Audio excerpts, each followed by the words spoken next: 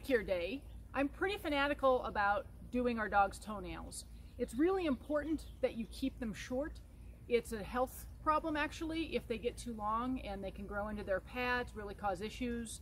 If you're out taking a walk or playing ball, frisbee, you can actually have toenails get caught and sprain or even break toes. And we play a lot of frisbee, a lot of ball, and I don't want any sprained toes off of something so preventable. So Timo's going to be our willing participant here. He grudgingly goes along with it. So when we start, we get a warm-up cookie. I like to Dremel versus cutting them, and I'll talk more about that later. And I just use a good old-fashioned Dremel tool, not the fancy dog pedicure tools. I've actually had a lot of friends give them away because they have a little cap on them and you can't see what you're doing. So you can get this off of Amazon or I don't know if Lowe's actually carries them anymore. But I'm going to take him and this is a great technique for a small dog. Larger dogs, obviously you're to be on the ground with them. And you can see he's really comfortable. We do, he's done this, he's seven years old. We've done this every week for seven years now. So I'm just going to hold his toe and then we're going to start dremeling. Should be good. Okay, and I put it on the low setting. And you have to be careful and make sure that you only do a little bit because you can burn your dog if you go too long. So you can see I just keep working very gently his toes. And then when I'm done, it'll leave kind of a sharp edge. So I just take it over the edge. Good boy, Timo. Good boy. And I'm going to just work my way around all his feet exactly the same way.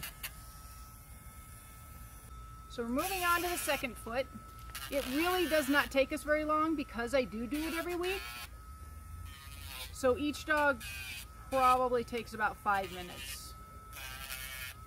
It's nice to do this outside if you can because it does generate some dust. In the winter I'll sit on a garage step. Then, once they survive the front toes, they get a snack. We're to move on to the back toes. The back toes seem to take care of themselves a little bit better I think because with them taking off and launching if, as they're playing and things.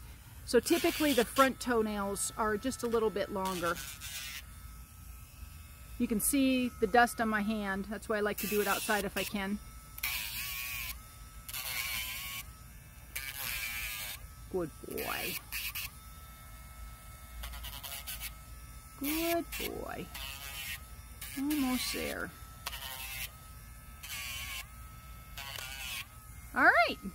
And then once they survive, all four, then they get an I Survive cookie.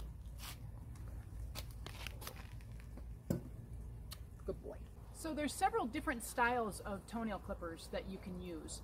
I personally love just a battery operated Dremel with the sandpaper head. I find my dogs are a lot more relaxed with it.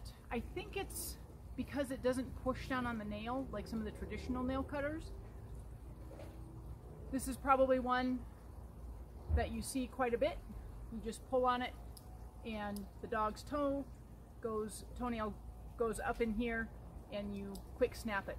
And my dogs particularly seem to hate this one and they will fight me tooth and nail, pun intended, if I use this versus the Dremel like you saw Timo, he literally is almost falling asleep in my arms.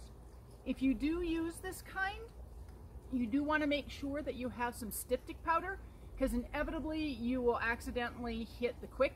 That's where the blood starts for the toenail and they will bleed like you cut the whole toe off. So just a little bit of styptic powder on there will stop that bleeding.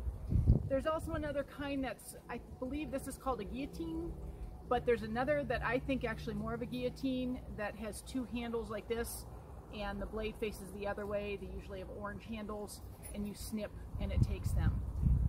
I do keep these in my emergency pet first aid in the car, however, because if we were out hiking and somebody happened to tear a toenail, you really want to be able to snip that off. And then I also keep my styptic powder So again, if that toenail is torn, we can snip it off and then put the styptic powder on it. But whatever type of equipment that you decide to use, whether it's clippers or whether it's a Dremel tool, make sure that you're doing it minimum twice a month, preferably once a week, even though my own dogs would disagree with that. So now you're all set to do your regular pedicures with your undog. But whatever, remember, keep it positive and keep it fun as possible with all those good cookies.